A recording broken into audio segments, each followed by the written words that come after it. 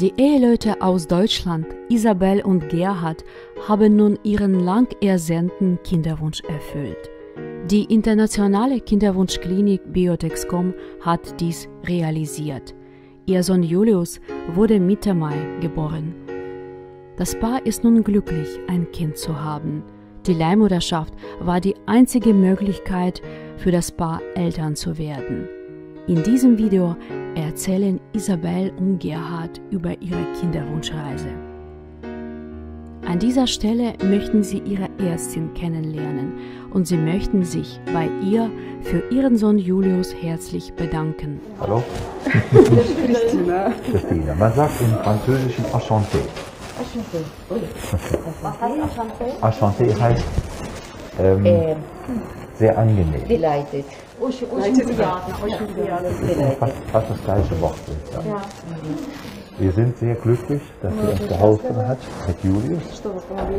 Ähm, wir hatten unseren größten Wunsch erfüllt. Und wir hoffen, weil wir machen jetzt, wir möchten noch ein weiteres Kind haben. Wir hoffen auch, dass wir ihre professionelle Hilfe dabei haben. Und wir wissen, dass, dass sie das auch mit viel Liebe macht. И вы, они знают, что вы это делаете с любовью, поэтому это и получается. Daher, daher sind wir ihr sehr, sehr dankbar. И за это они очень вам благодарны. Спасибо, мне тоже очень приятно. Я очень люблю свою работу. именно за это. ihre Arbeit genau deswegen. das wissen wir. Ja, они Man- это знают. И мне очень приятно, что они э, захотели меня увидеть. Und и ihr ist sehr angenehm, dass sie sie Поговорить. sehen möchten, Ihr also разделить wollten радость. und dass sie diese Freude teilen. Das ist unsere Freude, dass, wir, dass, sie die, dass, sie die Zeit, dass sie sich die Zeit nimmt, uns zu sehen. Ja? Das ist nicht selbstverständlich. И что это не само собой разумеющееся. Gerhard und Isabel möchten nun wieder Biotexcom Klapperstörche in Anspruch nehmen. Sie träumen jetzt von ihrem Familienglück zu dritt und demnächst zu viert, weil sie noch ein Kind möchten. Heute unterschreibt unser Paar aus Deutschland, Gerhard und Isabel, den zweiten Vertrag für ein zweites Kind. Sie haben schon einen Sohn bekommen, der Julius heißt und geboren ist der am 15. 15. Mai. Mai. Und jetzt haben Dieses Sie, Jahres. dieses Jahres, ja. Und jetzt haben Sie sich entschieden für ein zweites Kind. Genau. Können Sie mir bitte erklären, warum möchten Sie jetzt ein zweites Kind haben und was sind die Gründe? Nee, du. Nee, du? Okay. ähm, wir haben uns dafür entschlossen, A, war unser Kinderwunsch von Anfang an sehr, sehr groß. Meine Frau hat zwar schon zwei Kinder, für mich ist es das erste. Und äh, wir denken einfach, auch in unserem Alter, in dem wir sind, ist es besser, wenn Kinder zusammen aufwachsen. Nicht isoliert als Einzelkind, sondern zusammen und ähm, Wenn Sie Geschwisterchen haben. wenn sie Geschwisterchen haben. Das ist für die Kinder besser und für uns auch, weil dann haben wir im Prinzip, man sagt so in Deutschland, in einem Abwasch ist das, äh, wird das, äh, geht das denn durch, bevor wir jetzt noch viele Jahre warten und äh, die Kinder dann auch isoliert werden, was auch für uns natürlich äh, Konsequenzen halten würde, ist das so angenehmer für uns. Daher äh, ist das unser großer Wunsch, noch ein zweites Kind zu haben. Egal welches Geschlecht, Ja. wir haben da jetzt gar keine äh, Extra Bestimmungen, mehr extra Wünsche. Wir nehmen es so, wie uns der liebe Gott das Ja, äh, gibt. ja. Und, und für mich ist auch jetzt, habe ich nur Zeit für die Familie.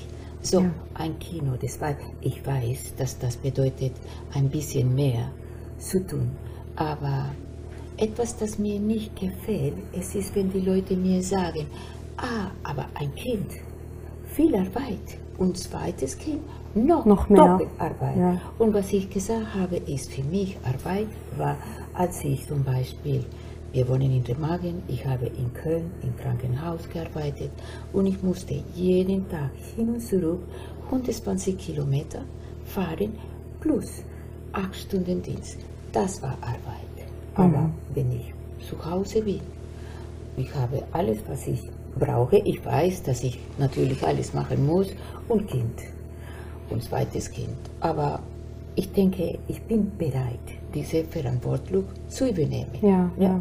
Und ich denke, ich werde das schaffen. Ich komme auch von einer Familie, wo wir fünf Kinder sind. Mhm. Hier in Kolumbien ist anders. Familie, Wir hatten Hilfe zu Hause und ähm, wenn das die Sache ein bisschen kompliziert ist, kann man auch ab und zu ein bisschen Hilfe Ja, bekommen. ja, ja. Und das war es. Äh, Ja.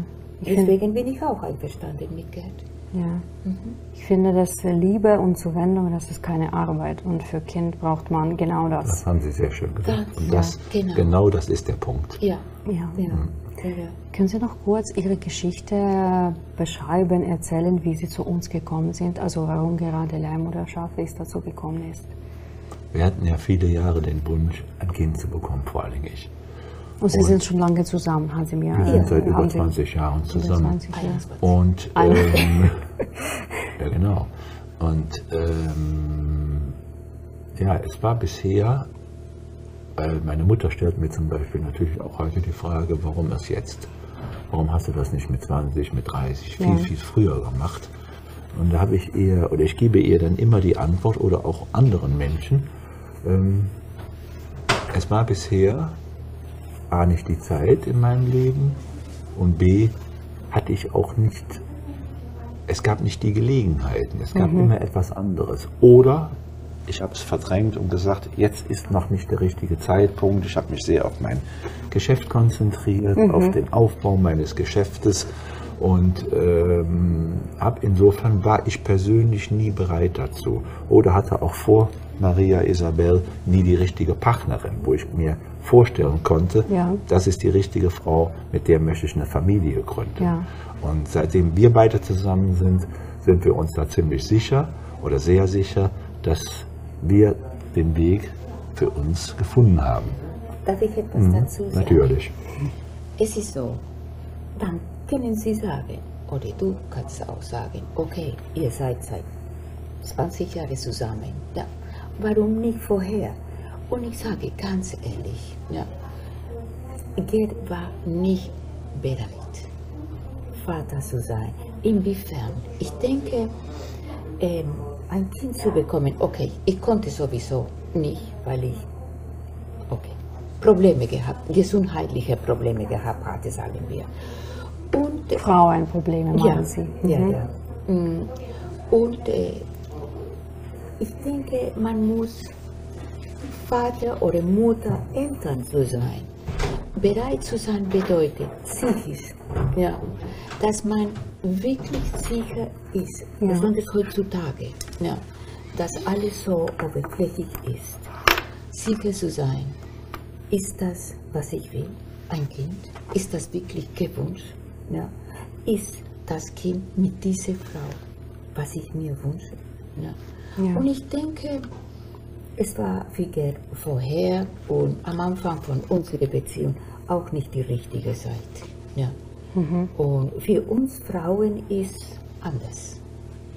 Ja, und, und für mich, ich bin, wie, wie gesagt, schon zweimal Mutter gewesen und ich konnte bereit sein, aber ich habe nichts gesagt, weil ich gedacht habe, es ist nicht meine Arbeit oder meine Rolle allein Mutter zu sein, sondern mit einem Vater. Zu zweiten. Ja, zu zweit. Und ja. wenn einer von den Partnern nicht so 100% sicher ist, Ja. ja, lohnt sich nicht. Ja, Ja. Nein. Ein Kind ist nicht etwas, das kommt zur Welt, um ein Problem zu lösen. Ja. Nein. Ja. Und es ist unseres Kind, unsere Ärzte und unser zukünftiges zweites Kind ist ein Kind, die wir von ganzem Herzen wünschen Ja. und dass wir wissen, das ist auch die richtige Zeit. Und Wie Julius, ja? Ja. oh, ja, Und das ist auch das, was, was wir hier sehr, sehr genießen, Maria. Ähm, Im Laufe der Zeit, wir sind ja jetzt schon das dritte Mal hier, richtig? Weil unsere ersten beiden Versuche nicht funktioniert haben. Aus Die Leihmutter war nicht schwanger, ja? Die Leihmutter war nicht schwanger. Es, hat, es war, gab dann im zweiten Fall eine Schwangerschaft, die ist dann nach kurzer Zeit wieder abgebrochen worden, etc. Es sollte einfach nicht sein. Aber was ich damit sagen möchte, ist, ähm, was für uns sehr ergreifend ist, wie viele Menschen wir hier getroffen haben, jetzt seitdem wir hier sind, wir Ja. sind ja jetzt schon seit drei Wochen fast hier, ähm, die alle mit uns gemeinsam diesen sehnlichen Wunsch hatten, Ja. ein Kind zu bekommen. Ja, und ja. wie glücklich die dadurch jetzt sind, das Kind zu haben.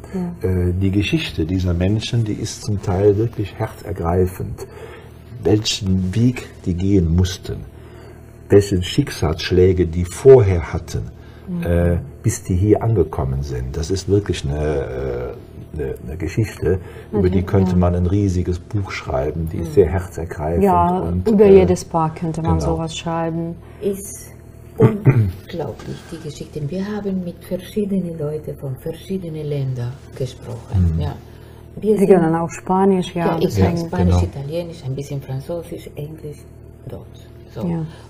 Mit allen. Und äh, ist unglaublich, was man ähm, erfahren kann. Ja.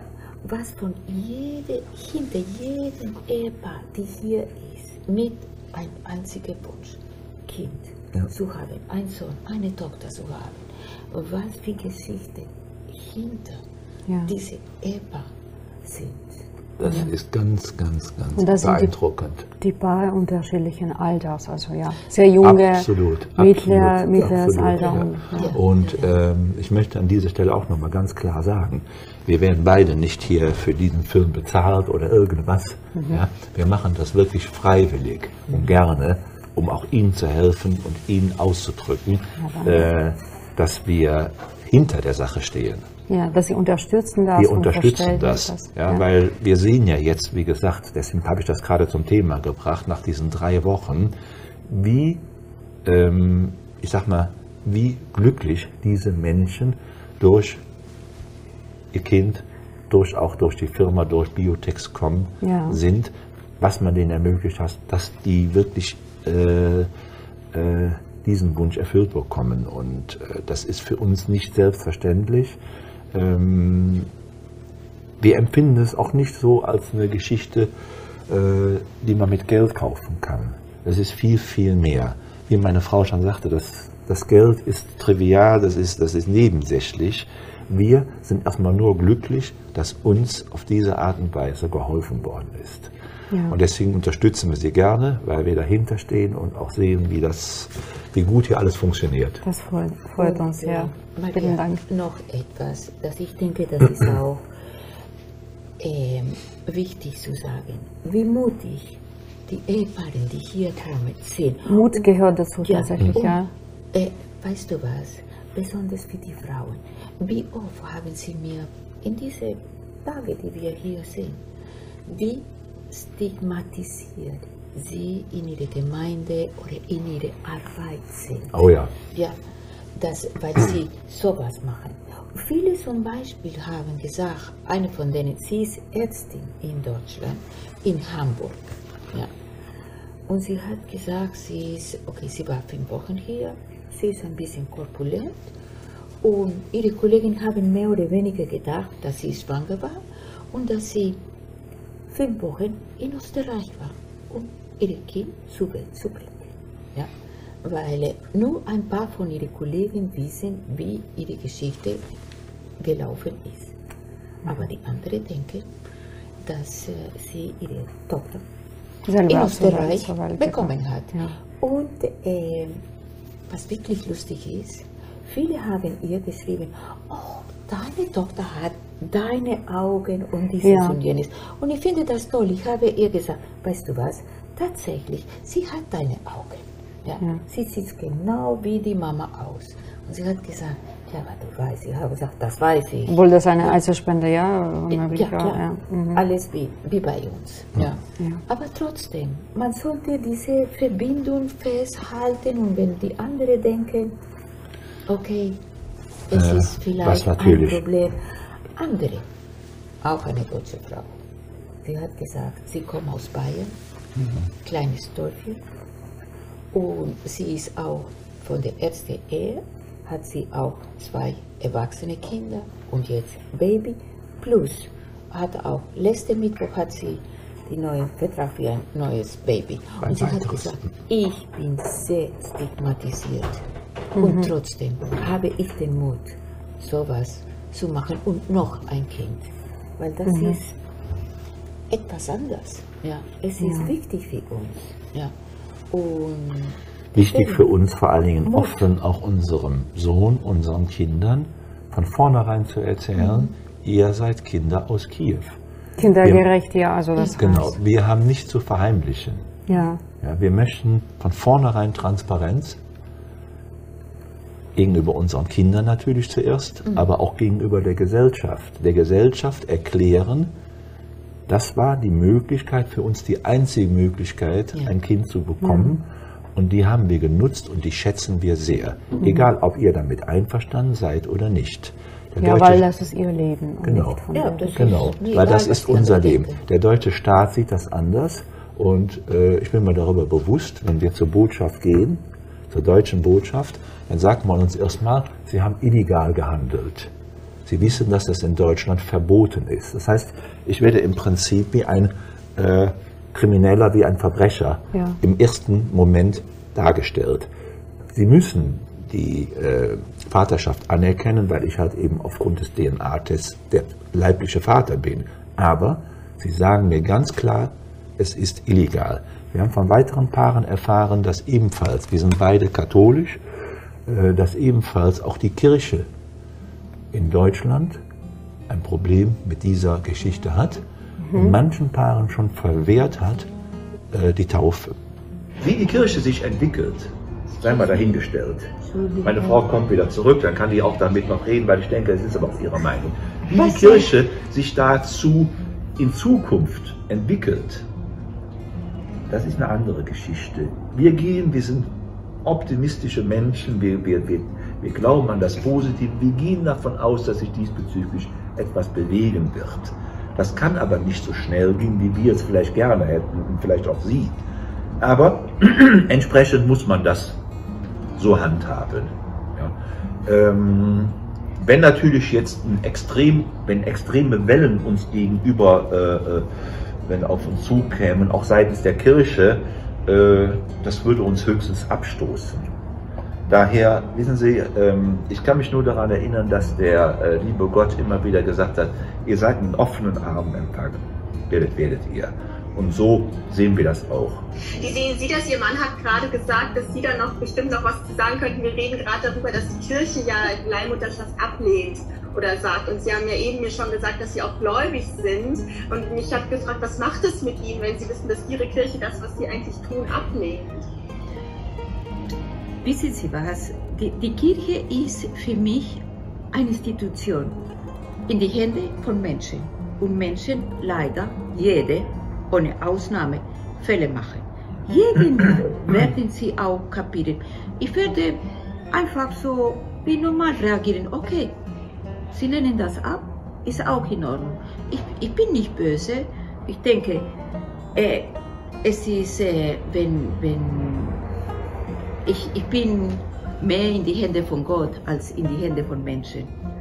Und wenn Gott mir so ein Geschenk geschenkt hatte, vielleicht hat er gedacht, ich bin die richtige Person oder wir beide sind die richtigen Eltern für ihn.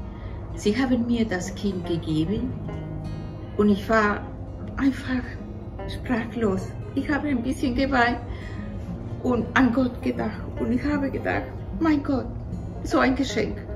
Das ist für mich, ich nenne ihn mein Stück Himmels. Ja, das ist für mich, was er bedeutet. Und jetzt ist der richtige Zeitpunkt gekommen, um diese neuen Verträge zu unterschreiben für ein zweites Genau. Kind. Ja?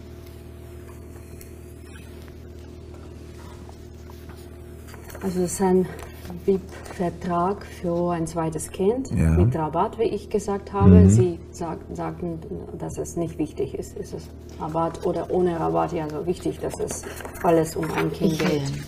ich würde nicht wegen ein Kind handeln. Aber ich finde das auch in Ordnung. Und ich habe schon Ihnen gesagt, dass die Wartezeit ist kürzer geworden, ja, und die Zahlungen an die Leihmutter, aber ansonsten ist alles gleich geblieben. Das finde ich auch gut, dass die Leitmutter jetzt mehr verdient. Ja, ja, das ist jetzt Das ist die. Neuerung, ja. Ja, wir haben unsere Leitmutter bis jetzt noch nicht kennengelernt, aber wir werden sie bald kennenlernen. Und ich freue mich riesig, persönlich ihr Danke zu sagen für so ein Geschenk. Ja. Dieses Paket für Neugeborene, das war nicht nur einfach ein Paket, es war ein liebevoll zusammengestelltes Sortiment für Sachen, die wir äh, wirklich sehr gut gebrauchen können. Vielen Dank. Kleidung und Genau. Fläschchen, was ist dort äh, vorhanden? Was war da alles drin? Schnuller, du weißt das. Da war, ja genau, Klamotten. Äh, Schnulle, äh, ein Paket Pampers. Babykosmetik, Flasche, Windeln, und, alles. Also es war, noch? Ähm, ein Handtuch, ein, okay, die Tragetasche, ein Sterilisator äh, ein Sterilisator für den, äh, für, ja genau, also Thermometer, glaube ich. Thermometer, Thermometer zwei auch. verschiedene Thermometer, Ja, wo man eben mit baden Wasser. kann und so Ja, weiter. Also wirklich an alles gedacht, perfekt organisiert. Wir Und haben, wir, haben, äh, wir haben den Kinderarzt vor Ort, was unbezahlbar ist. Ja. Ähm, der, ist der ist nicht nur äh, fachlich kompetent, der ist auch menschlich sehr Bogdan nett. heißt er, genau, gell? Bogdan. Mm, mein Baby. Deswegen war er so unruhig gestern Abend.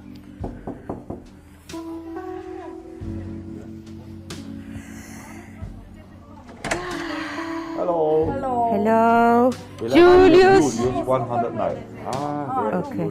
Oh, my baby. It's okay. My baby, my baby. He's my new mommy. He's my new mommy. Oh, mommy. Can we talk a bit about your baby? Yes, please, Herr Doctor. Thank you very much.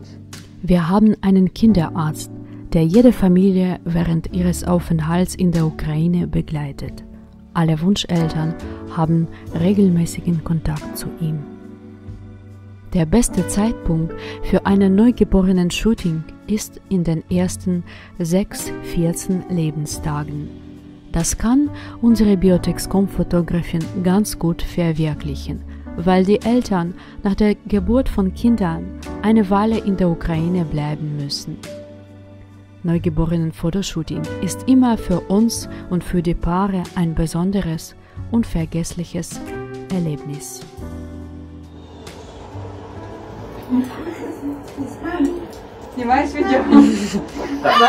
Wie finden Sie diese erste Zeit mit Julius? Also wie können Sie das beschreiben? Dass vielleicht also ist es ausschlaggebend, dass Sie hier in der Ukraine sind, in Venice und wie fühlt sich das an? Gerade jetzt. Also äh, wir fühlen uns erstmal sehr behütet. Wir könnten uns keine schöneren vier Wochen äh, mit unserem Julius vorstellen, weil wir hier alles haben. Wir haben die optimale medizinische Versorgung.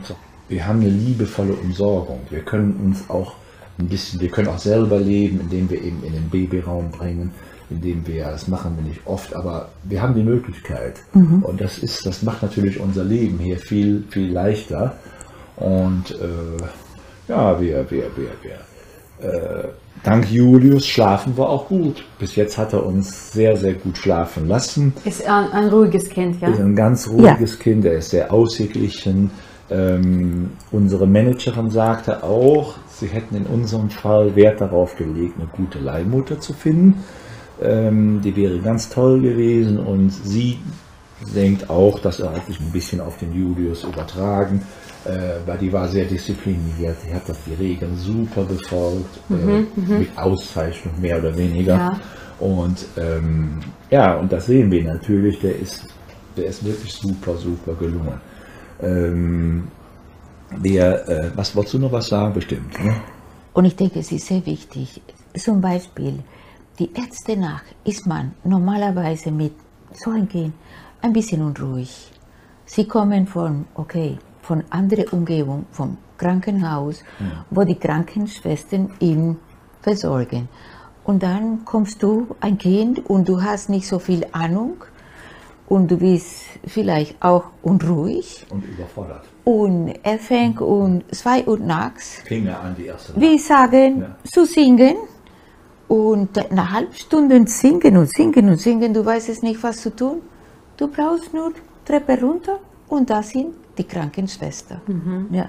Und das ist das Beste vom Besten. Für sowas finde ich keine richtige Wort und das sonst, was hätte man gemacht? So, und die Krankenschwester, ich erzähle Ihnen auch, wie sie reagiert hat. Das war ganz, war ganz lustig. Ähm, wir haben ihn dann gebracht, mehr oder weniger hilflos, mit hilflosen Ja. Augen. Sie, sie kannte nicht so viel Englisch, aber wir haben, ihr- sie hat, hat gesehen, was das Problem ist. Sie hat ihn genommen. Es hat keine fünf Minuten gedauert. Dann hat sie ihn wieder uns zurückgegeben. Er war ganz ruhig, hat kein Tor mehr gesagt und er war eingepackt. Ich sage mal wie so eine Babuschka. Fester eingepackt. Super ruhig und dann schaute sie uns mit strengen Augen an und sagte nur, feed, nee, eat now. No, now Ah, it. Now eat. Okay. Und ich habe Das sollte, verstanden. das sollte für uns so viel heißen, ey, ihr bösen Eltern, ihr habt euren Jungen zu wenig zu essen gegeben. Ja? Und seit dem Tag sind wir wirklich da sehr, sehr hinter.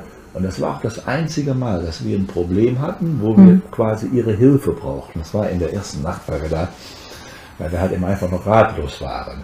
Und, äh, aber es war ein ganz wichtiger Moment für uns, weil um 2.30 Uhr, wenn sie da irgendwo sind, da steht ihnen kein äh, Kinderarzt zur Verfügung. Ja? Und Mhm. das war wunderschön, da die Hilfe zu bekommen. Und, äh, aber seitdem mit der täglichen Absprache auch mit Herrn Dr. Bogdan ähm, geht es immer besser und ja, es ist wunderbar. Ich finde es auch toll, dass wir dieses Buch jeden Tag führen müssen, wann die Mahlzeiten sind, wie die Gewichtszunahme ist etc. Und ähm, das macht vieles für uns leichter. Ja. Ja, und dann, deswegen sind wir hier sehr glücklich und ich habe Ihnen auch schon äh, gesagt, ähm, es ist uns wirklich ganz gleich, ob wir eine Woche äh, äh, früher oder länger hier warten müssen. Wir bleiben, wie gesagt, so lange, bis unsere Papiere Ja, fertig, fertig sind, bis sind. alles in Mhm. Ordnung ist. Wir genießen jeden Tag, jede Minute mit unserem Julius und Ja. ich hoffe, das wird so weitergehen. Super. Können Sie kurz Ihren Tagesablauf beschreiben? Also wann stehen Sie auf, was weiter, weiter, weiter? Also was, Sie, Ähm, was Sie hier machen können, ja, im Ja, Hotel. Also wir können, wir können sehr viel machen. Äh, nur, das haben wir anfangs auch gemacht, bevor Julius da war. Da hatten wir so, ich sag mal, so unseren geregelten Wunschtagesablauf. Das heißt, wir sind morgens stehen wir etwas früher auf, um 7 Uhr. Wir gehen runter in den Gym, machen ein paar Fitnessübungen, äh, gehen anschließend vielleicht sogar laufen oder joggen, je nachdem, wie das Wetter ist, frühstücken äh, und so weiter. Mal in die Stadt, mal einkaufen. Aber klar, jetzt mit Julius. Eine Bluse für Isabel. Genau. Ich habe eine sehr schöne, du kannst. Ich, ja, ich. Kann ich die Bluse zeigen? Später. Und, ähm, aber jetzt diktiert natürlich unser lieber Julius unseren Tagesablauf. Deswegen, wir richten uns mehr oder weniger nach dem Buch. Wenn er in zweieinhalb Stunden essen muss, wird er natürlich Mhm. auch, wenn er hungrig ist, er, da ist er seinem Papa sehr ähnlich. Der Papa hat auch immer, wenn er hungrig ist, ist dann, hat er nicht so gute Laune. Dementsprechend äußert er sich. Und, ähm, Und das Essen muss warm sein, ja. und das Essen muss warm sein, genau. Alle Biotex-Wunscheltern genießen ihre Mahlzeiten während ihres Aufenthalts in der Ukraine. Sie können diese Mahlzeiten in den hoteleigenen Restaurants essen. Die Speiseauswahl und Darbietung orientiert sich an den Bedürfnissen und Wünschen unserer Patienten. Genießen Sie die internationale Küche, die wir aufgrund der Vielfalt unserer Wunscheltern zu bieten haben. Ja, davon, das, das bestimmt ein bisschen unseren Tagesablauf. Deswegen kann ich auf Ihre Frage, ähm, was machen Sie, wie sieht Ihr Tagesablauf aus? Ähm, wir versuchen, alle Interessen, die wir haben, miteinander zu verbinden. Also unsere als auch seine Interessen. Und trotzdem hier noch am Leben im Hotel, sprich an den Mahlzeiten, an der Kommunikation mit unseren Bekannten, die wir hier inzwischen betroffen haben, sehr liebe Familien, daran teilzuhaben und äh, sind dabei sehr glücklich. Du sagst Bekannte, aber wir haben die Leute hier kennengelernt. Mhm. Und ähm, man wir sitzen auch zusammen draußen und wenn die Sonne scheint, ist auch sehr angenehm mit den Babys. Die reden mit dem Baby, man erzählt ein bisschen und das ist auch sehr angenehm. Ich habe zum Beispiel mehrere Bücher mitgebracht äh, zu lesen und keine Zeit. Keine Zeit. Keine, Keine Zeit Zeit. gehabt. Keine ja, es Zeit. kommt auch so mit der Zeit halt eben, das ist das, was ich Ihnen auch schon mal sagte, so ein Gemeinschaftsgefühl auf mit den Paaren, die alle hier sind. Und äh, was mich sehr betroffen hat, war halt eben dieses Schicksal der Paare, wie lange die auf ihr Kind bisher warten mussten. Die sind ähnlich wie wir, sind viele dabei, die sind nicht mehr 20 Jahre alt und äh, entsprechend war das so für sie ein ganz lang ersehnter Wunsch, ein Kind noch zu bekommen. Und dementsprechend sind die auch so extrem glücklich. Die sind, die, ich sag mal fast so wie auf Drogen. Die sind wie, Ja, genau. wie in einer Trance. Ja, und äh, das gibt aber der ganzen Sache eine sehr schöne Atmosphäre. Ja. Und wenn man dann natürlich noch Glück hat, und das Kind ist ruhig, man kann selber schlafen, man ist selber ausgeglichen dabei, dann ist es umso schöner. Ja, deswegen müssen, dann, dann ist es eher an, an Ihnen von Biotexcom dafür zu sorgen, dass wir so schnell wie möglich wieder hier wegkommen, ja, weil ansonsten werden wir Ihre Gastfreundschaft noch lange in Anspruch nehmen. Können Sie kurz noch die Geschichte erzählen, warum Sie Ihren Sohn Julius genannt haben? oh ja, Das ist ja schon. Das ist schon eine Oh, das ist, das ist, äh, Gerd, das ist deine Familiengeschichte. Das solltest Also- du erzählen. ich, ähm, Der habe- Gründer. Ich habe einen Familienbetrieb übernommen in der, äh, des, in der dritten Generation, also ich war die Vierte. vierte Generation dieses Familienbetriebs.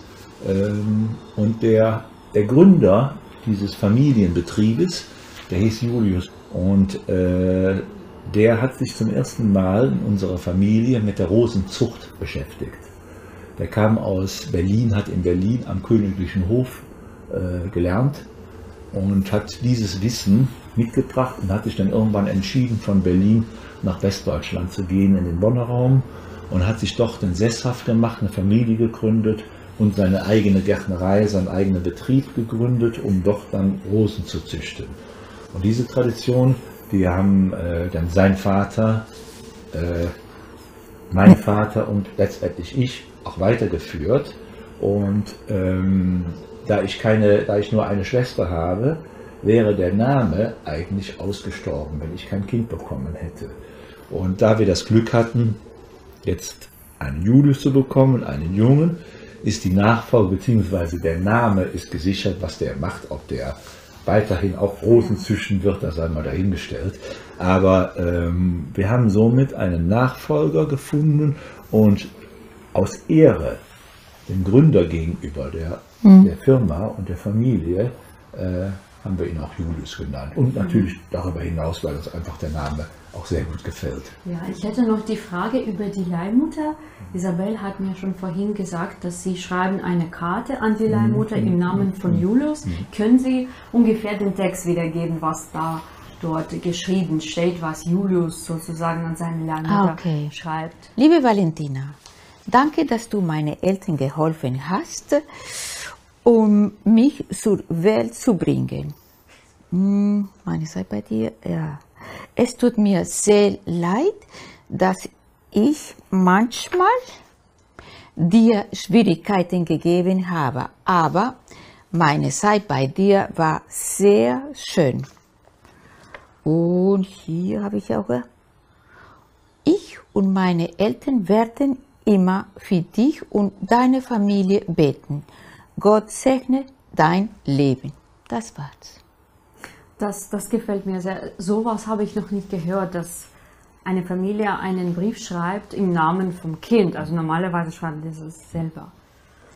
Ja. Nein, Können Sie noch kurz über die Geschenke erzählen, über Ihre Stellungnahme zu den Geschenken, die äh, Leihmutter bekommt? Also Sie haben mir dann vorhin Wir haben- erzählt, wir- dass Es ist, es ist so. über diese bleibende, Wir haben- bleibende Erinnerung, ja. Wir haben nicht so viel, okay, wir haben gar keinen Kontakt mit dir, aber wir haben uns gedacht, mit Sicherheit muss sie Kinder haben. Und für die Kinder haben, wir wissen auch nicht, wie groß, wie klein die Kinder sind. Und dann haben wir ein paar Süßigkeiten für die Kinder mitgebracht. Und für sie haben wir uns entschieden, Geld zu bringen.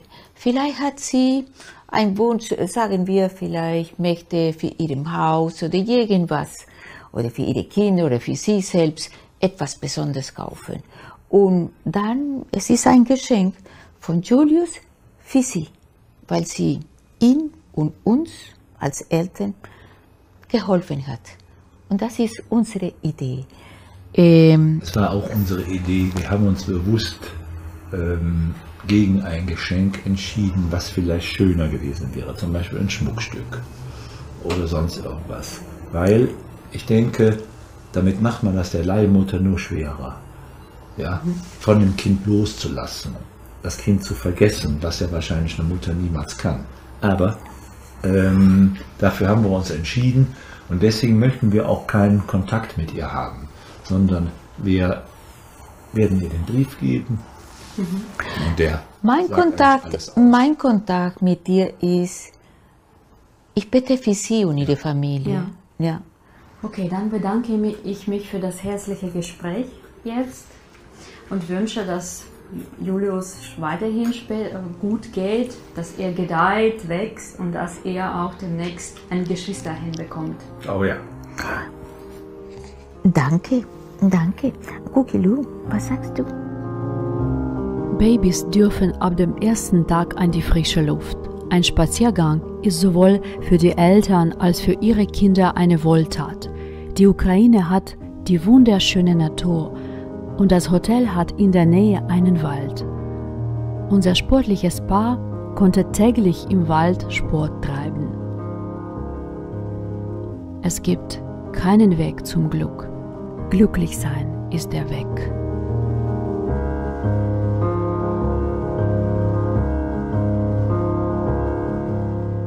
Sitzen jetzt im Zug, alles ist super.